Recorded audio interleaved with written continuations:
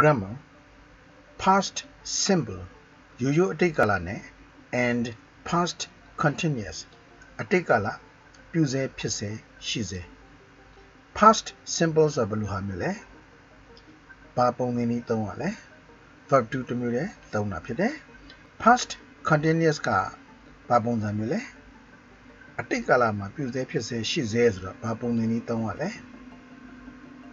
was were plus verb ing ကိုသုံးရတာ choose ရွေးချယ်ပါ and take ပြီးတော့အမှန်ချစ်ချစ်ပေးပါ the appropriate answers တင်လျော်တဲ့အဖြေများကို for the following sentences အောက်ပါဝကြများအတွက် number 3 yesterday evening မနေ့ကညနေပိုင်းမှာ we ကျွန်တော်တို့ဟာ did not cook ချက်ပြုတ်ခြင်းမရှိခဲ့ were not cooking ချက်ပြုတ်နေခြင်းမရှိခဲ့ချက်ပြုတ်ခြင်းမရှိခဲ့ချက်ပြုတ်နေခြင်းမရှိခဲ့တစ်ဆက်တည်းပြုလုပ်နေတာမျိုးမရှိချက်ပြုတ်ခဲ့တာမရှိအဲ့ဒီနှစ်ခုတည်းကတစ်ခုရွေးချယ်ပေးမှာဖြစ်တယ် we ordered ကျွန်တော်တို့ order မှာယူခဲ့တယ် fried noodles fried ကကြော်ထားတာ noodles ကခောက်ဆွဲ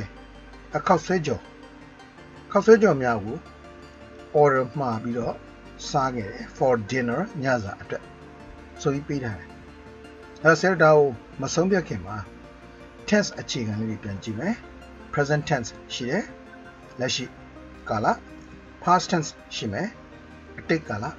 လက်ရှိကာလဖြစ်စေအတိတ်ကာလဖြစ်စေပြုပြီးဖြစ်ပြီးရင်ပါလဲ perfect လက်ရှိကာလဖြစ်စေ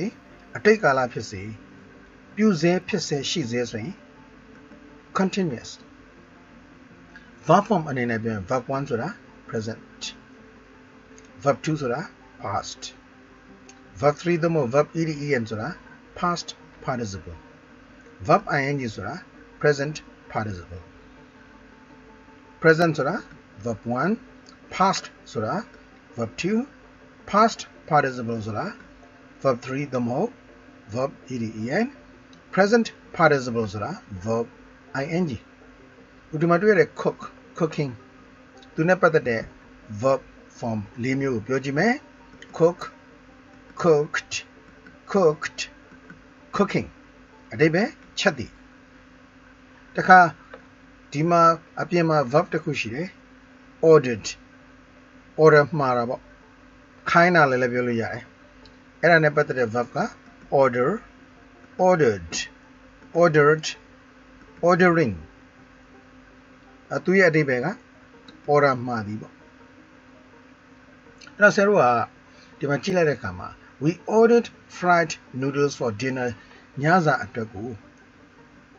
order မှာလိုက်တယ်ဆိုတော့ဒီနှစ်ခုရဲ့ဘာကိုရွေးမလဲ we're not cooking ကိုရွေးမှားတယ်လို့ပြောမှာပေါ့တစ်ချိန်လုံး ချက်နေပါတယ်လို့ပြောရလောက်အောင်သူနဲ့ပြိုင်တူဖြစ်နေတဲ့ကိစ္စမျိုးဖော်ပြထားခြင်းမရှိဘူးပြူစဲဖြစ်စေရှိစေဆိုတာမျိုးကိုပြနိုင်တဲ့အနေအထားမျိုးမရှိဘူးအဲ့တော့ပြက်ပြက်သားသားပဲမနေ့ကညနေပိုင်းကတို့မချက်ခဲ့ဘူးဆိုတာလေးပဲပြောပါဖြစ်တယ်ဒါကြောင့်အဖြစ်မှန်သည် did not cook ဖြစ်ပါတယ်ဒါကြောင့် did not cook ကိုအမှန်ချစ်ကလေးချစ်ပေးရမယ် tick လုပ်ပေးရပါမယ် ဒါဆိုဒါတော့မျိုးနားလည်မယ်လို့ယူဆပါတယ်